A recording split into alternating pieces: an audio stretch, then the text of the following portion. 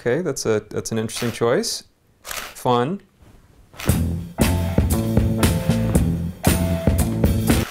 Okay, maybe maybe just one or two without the hand. And oh, the other one came up. Uh, yeah, maybe just try one with your hands in your lap. You don't think that the hand adds a, an air of mystery? Sure. I just, I mean, I think people want to see your face, right? I suppose so. You know, the idea is to just to be comfortable and relax, just shake it off, get loose. I'm loose enough, thanks. Okay then. Um, just big smile for the camera. Uh, bit bigger. Okay, maybe try showing your teeth a bit.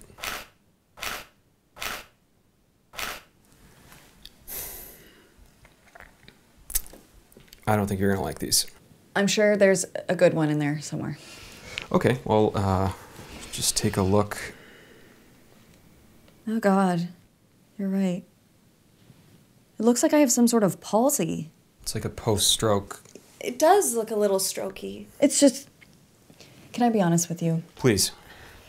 The ad is for a bus stop in an ungentrified hood.